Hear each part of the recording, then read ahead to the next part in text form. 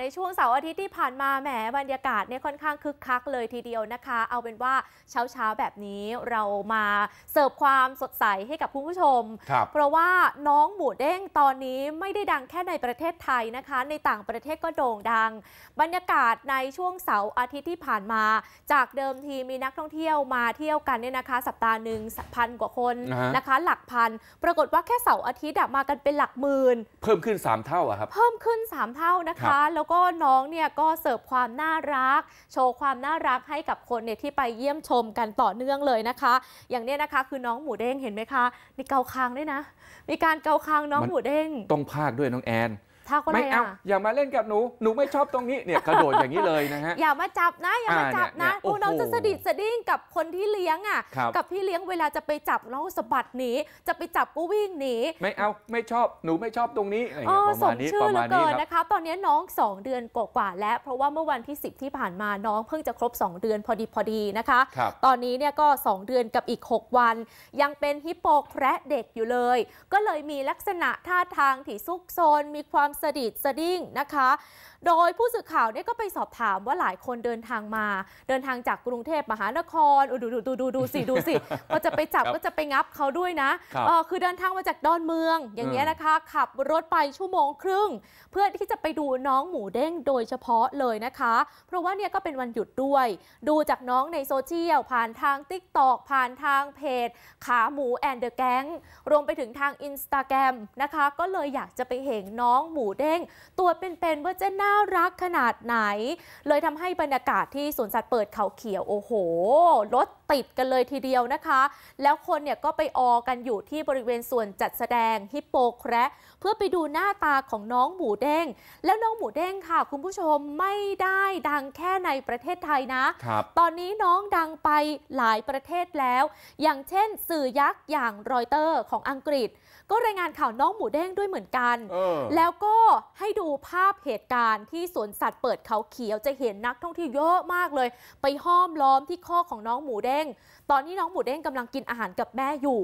แต่รอยเตอร์เขาก็น่ารักนะคะ เขาเนี่ยก็อธิบายว่าชื่อหมูเด้งเนี่ยครับภาษาไทยเนี่ยแปลว่าอะไรอ่ารอยเตอร์เขานิยามคำว่าหมูเด้งที่แบบภาษาไทยเนี่ยนะคะเขาแปลเป็นภาษาอังกฤษบอกว่าน้องหมูเด้งเนี่ยคือ หมายถึงหมูบดอะที่ใส่ในโจ๊ก เป็นอาหารมื้อเช้าของคนไทยลักษณะกลมๆเด้งๆอย่าทำตกพื้นประไม่มาณแน่นั้นใจว่าฝรั่งจะเข้าใจหรือเปล่าว่าเออหมูเด้งแล้วจะเกี่ยวข้องกับหมูเด้งที่เป็นฮิปโปแคระยังไงนะคะ คราวนี้เนี่ยทางผู้อำนวยการค่ะสวนสัตว์เปิดเขาเขียวนายนรงค์วิทย์ชดช้อยบอกว่า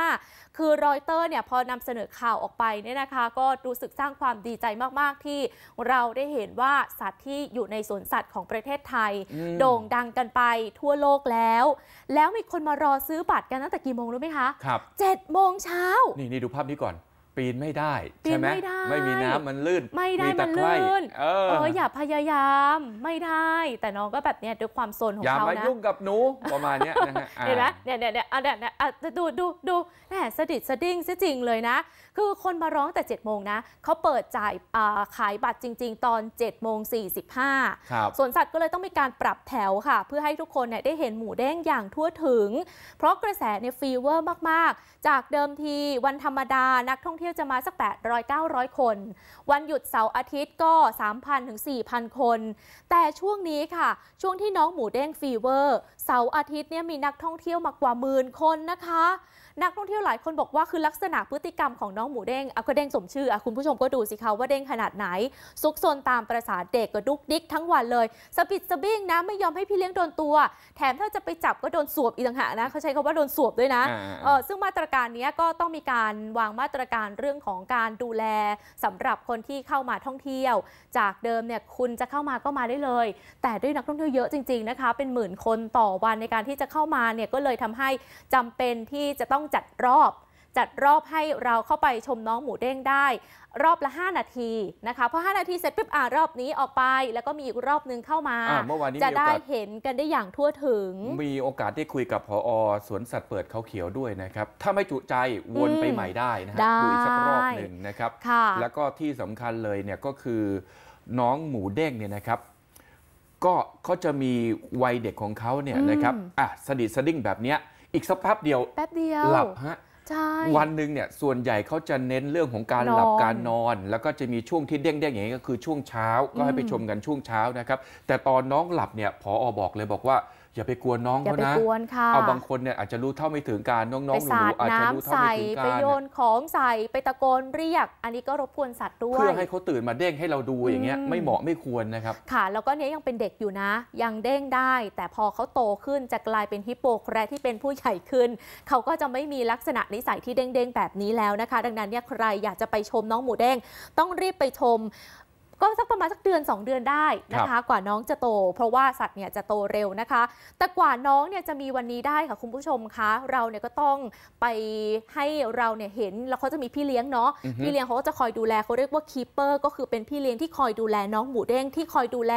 ถ่ายภาพ เอาน้องเนี่ยลงในโซเชียลตลอดเวลาให้เราได้ชมความน่ารักของน้องนะคะเขาบอกว่าเขาเนี่ยไม่อยากที่จะเก็บภาพเนี่ยไว้ดูคนเดียว เพราะว่าน้องอะน่ารักจริง ๆเขาก็เลยตั้งเพจขึ้นมา เพื่อถ่ายทอดความน่ารักมาให้เราที่เป็นผู้ชมอยู่ที่บ้าน ได้ดูความน่ารักของน้อง ซึ่งคนนี้ค่ะที่เป็นผู้ดูแลน้องหมูเด้งชื่อว่าคุณอัคพลหนุนดีหรือว่าพี่เบนซ์นะคะ ทีมข่าวของ Daily News เนี่ยก็ไปสัมภาษณ์พี่เบนซ์ถึงที่เลย เขาบอกว่า เขาเห็นว่าหมูเด้งอะเขามีลักษณะนิสัยที่ดูตลกอะหน้าตาก็ตลกอ่าๆๆคนเขาก็เลยก็เลยโพชสต์เลยอบที่ถ่ายรูปอืมนะคะ แล้วก็เอารูปน้องหมูเด้งไปลงในโลกโซเชียล โดยเฉพาะส่วนไหนรู้ไหมคะ ส่วนขาของน้อง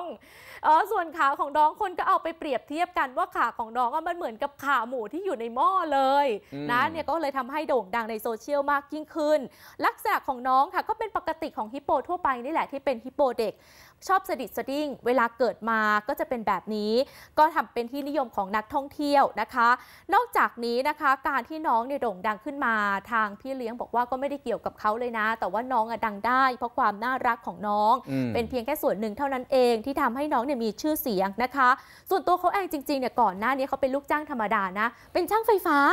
แล้วก็มาสอบบรรจุเป็นลูกจ้างประจำของสวนสัตว์เปิดเขาเขียว ดังนั้นนะคะ เราต้องย้ำเลยว่าใครที่จะไปสวนสัตว์เปิดเขาเขียวไปดูน้องหมูเด้งแนะนำว่าต้องรีบเดินทางไปนะคะ และความดังของน้องไม่ใช่แค่ในประเทศไทยอย่างที่บอก ไม่ใช่แค่โด่งดังไปถึงต่างประเทศนะคะ ผ่านทางสื่อยักษ์ของอังกฤษ แต่ล่าสุดค่ะ น้องหมูเด้งฮิปโปแคระตัวนี้ ไปอยู่ในรูปแบบของเค้กแล้ว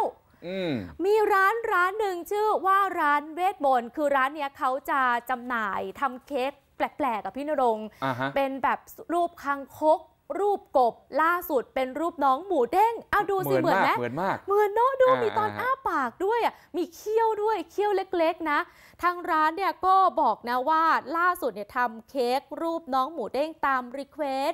น้องหมูเด้งบายร้านเวทมนต์ตั้งใจทำอยู่นะ ไม่รู้ว่าเหมือนไหม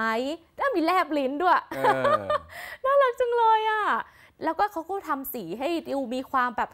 มันๆวาวๆเป็นสีที่คล้ายน้องหมูเด้งมากที่สุดตาแบ๊วๆด้วยนะ